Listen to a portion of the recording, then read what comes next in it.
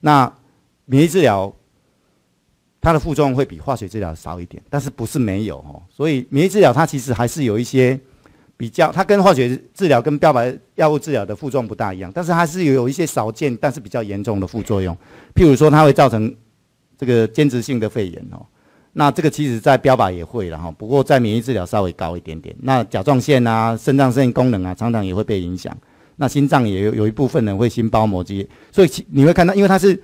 把你的免疫提升，所以这个免疫提升之后，有时候就会去攻击你自己身上的一些一些正常的器官功能，所以它也会造成这样子的一个一些副作用。但是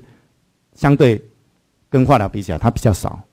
那治疗也比较简单了哈。就治疗简单，因为化疗副作用，比如说你恶心呕吐要用恶心呕吐的药哦，那你血球低你要用血球低的药哦，啊你拉肚子要用拉肚子的药哦。那免疫治疗大部分它的治疗就是比较单纯一点，就是先停药啊，看你严重不严重啊。假如停药之后它恢复的状况不是太严重啊，你再用。那真的太厉害就是加类固醇哦。但是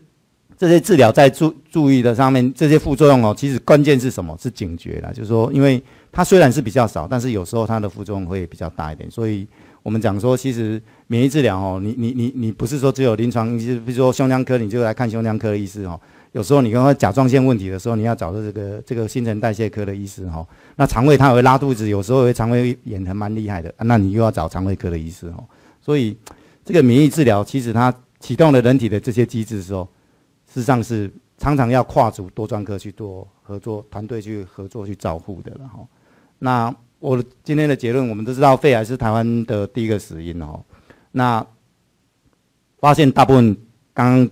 这个黄医师讲哦，八成都是第第三期、第四期哈，所以存活率很低哦。那我们的治疗其实没有比外国来的差，就像我们刚刚讲的那些药，外国出来几乎台湾几乎可以同步在台湾可以买得到药，但是为什么我们的存活，我刚刚讲我们的死亡率为什么比较高？重要的是。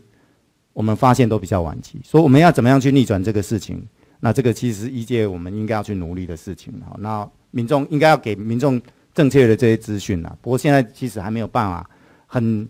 这个就好像光是那个低剂量电脑，说你谁要来做，谁不要来做，这个都还有一些争议哈。